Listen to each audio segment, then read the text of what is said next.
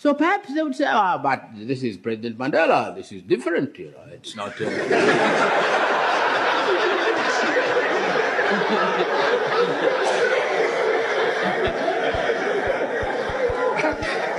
but, but for the likes of me, no, I'm an African. Welcome to Candid Africa, truthful and unapologetic. Sometimes I get annoyed, but sometimes I don't get annoyed.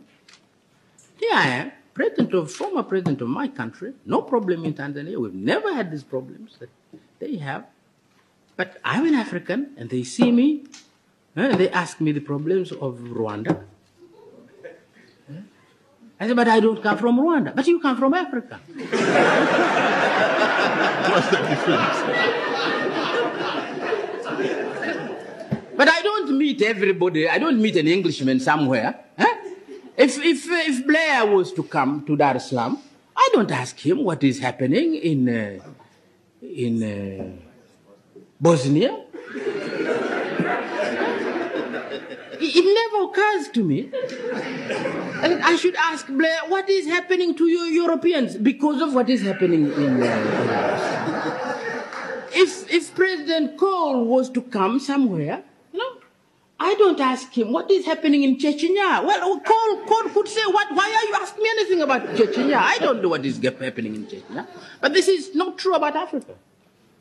About Africa, Mr. President, you go, here you are, trying to build something which is a tremendous, uh, tremendous uh, experience. But perhaps you are different because sometimes they think South Africa is, is different. So perhaps they would say, ah, but this is President Mandela, this is different, you know, it's not. Uh...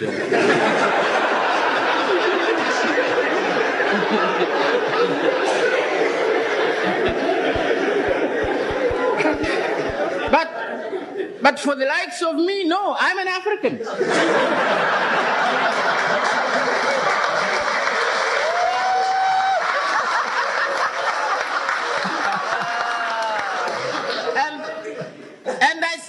I said, some.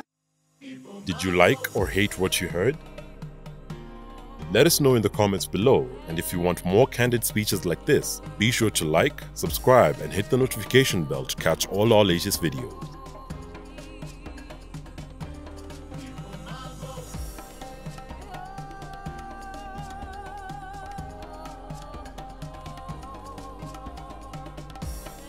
And please feel free to leave your suggestions, news tips, or topics about Africa you'd like us to cover